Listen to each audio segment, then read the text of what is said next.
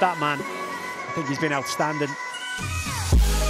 Vettori Sako going through the gears here and scoring. He's done it again. Palace's top scorer this season.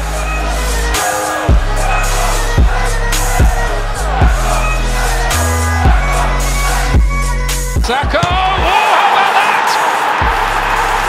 It's 1 1. Bakary Sako rams it home via the post.